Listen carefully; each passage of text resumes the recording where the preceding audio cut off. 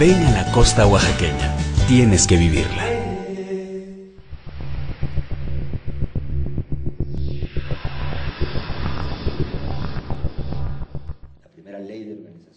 Oaxaca fue sede del programa de capacitación en materia de protección de datos personales en posesión de particulares que impartió el Instituto Federal de Acceso a la Información y Protección de Datos a comisionados, consejeros, directores de áreas jurídicas y capacitadores de órganos garantes de la zona centro de la Conferencia Mexicana de Acceso a la Información Pública, la cual aglutina nueve estados de esta región, incluyendo a Oaxaca. El presidente de la Comay, José Orlando Espinosa Rodríguez, inauguró el encuentro en donde destacó la importancia de la capacitación de los especialistas sobre transparencia gubernamental para brindar una mejor atención a los ciudadanos. Los temas abordados fueron antecedentes del derecho a la protección de datos personales, contenidos fundamentales de la Ley Federal de Protección a Datos Personales en posesión de los particulares y el reglamento, disposiciones generales de la transparencia de datos personales, aviso de privacidad y criterios generales para la instrumentación de medidas compensatorias sin la autorización expresa del IFAI, entre otros. En este marco, el coordinador de Información, Documentación y Transparencia Tribunal Electoral del Poder Judicial de la Federación, Francisco Javier Acuña Llamas, brindó una conferencia magistral.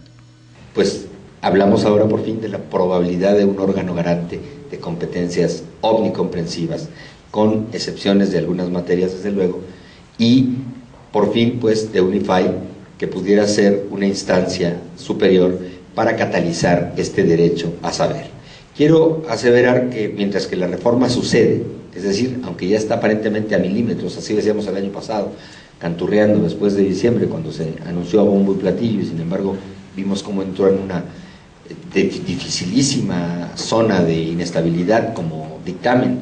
y luego con la tremenda u ominosa marca de los diputados que luego después corrigieron de último momento, todavía sembrando molestias e polémicas naturalmente entre los eruditos y los estudiosos de este tema, yo quiero hacer tres referencias de punto de partida. Primero, seguimos hablando del derecho, dentro del derecho a la información, claro, entendiendo lo que es la apertura informativa.